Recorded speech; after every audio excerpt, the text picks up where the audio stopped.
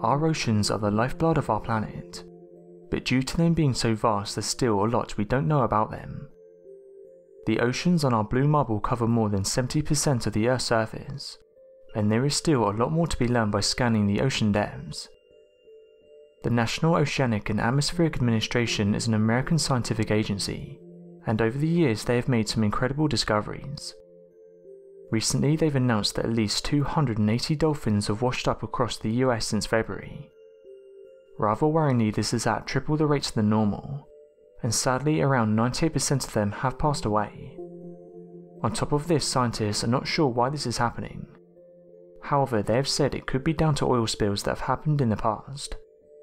For example, one of these was the 2010 BP oil spill, the National Oceanic and Atmospheric Administration said it's affected mammals' health along with other marine creatures.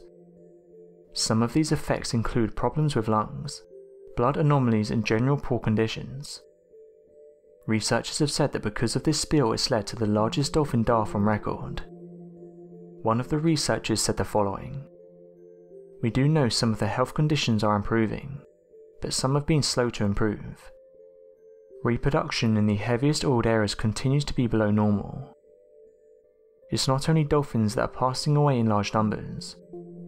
Recently, it was announced that small turtles that were swimming in Cape Cod Bay during the harsh weather suddenly froze.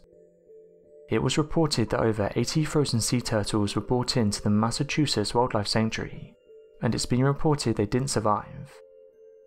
There's been a total of 173 turtles that passed away, but the number of turtles that were in bad health was higher. A total of 227 near frozen turtles were brought to the sanctuary, but out of this only 54 of the turtles survived. During the past winter more than 400 turtles washed up.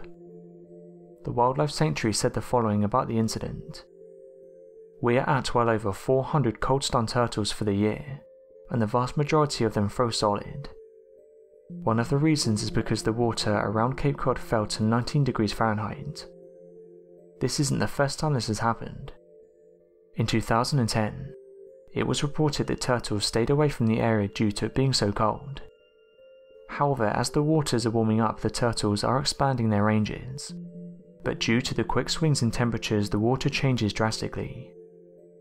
As of right now, the National Oceanic and Atmospheric Administration is working to help rescue these animals.